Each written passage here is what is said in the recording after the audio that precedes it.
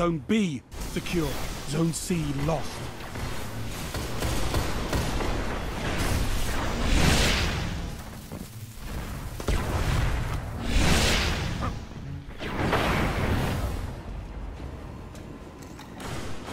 Zone C secure.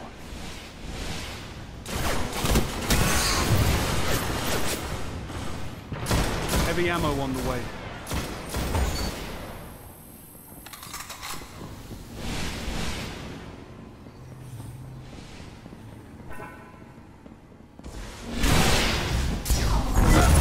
Ammo available.